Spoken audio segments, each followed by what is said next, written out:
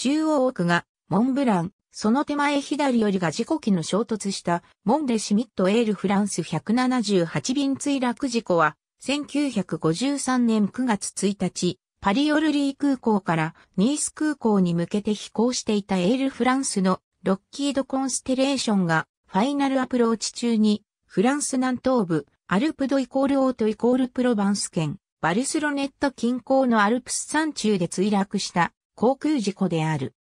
墜落した原因は不明であるが、操縦士は墜落する5分前に、万事 OK、予定通りニースに着陸すると更新しており、アルプス山脈の一角にあるモンスニ山系をすでに通り過ぎたと錯覚、早く高度を下げてしまい、山頂付近に激突したという広報上の密接が報道された。乗客33人、乗員9人全員が死亡。バイオリニストジャック・ティボーがこの事故で死去した。事故機は墜落後3時間以上炎上していた。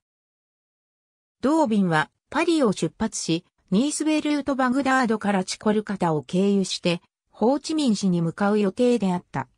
2015年3月24日、墜落現場の西 1km 余りの地点で、ジャーマンウィングス9525便墜落事故が発生した。ありがとうございます。